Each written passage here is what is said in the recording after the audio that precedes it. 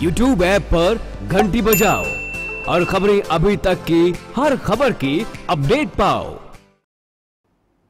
शिक्षा विभाग से बिना मान्यता प्राप्त किए संचालित होने वाले स्कूलों की संख्या थमने का नाम नहीं ले रही है और ऐसे में तीन प्राइवेट स्कूलों के नाम सामने आए हैं जो काफ़ी लंबे समय से बिना मान्यता के चल रहे हैं। तीन स्कूलों में से एक प्राइवेट स्कूल नूरपुर का बताया जा रहा है, जो पिछले दस साल से बिना मान्यता के ही विद्यार्थियों को शिक्षा दे रहा है। 2008 के बाद इन स्कूलों ने मान्यता ही नहीं ली है और इसके अलावा दो अन्य स्कूल कांगड़ा क्षेत्र के बताए जा रहे हैं, जिन्हें अभी महज तीन से पाँच साल ही हुए हैं, जिन्होंने अभी मान्यता प्राप्त की है। और शिक्षा विभाग द्वारा उक्त स्कूल की मान्यता रद्द करने और जुर्माना डालने के लिए निदेशक प्रारंभिक शिक्षा विभाग को पत्र लिखेगा। मान्यता नवीनीकरण के लिए शिक्षा विभाग के पास प्राप्त आवेदनों में ये बात सामने आई है।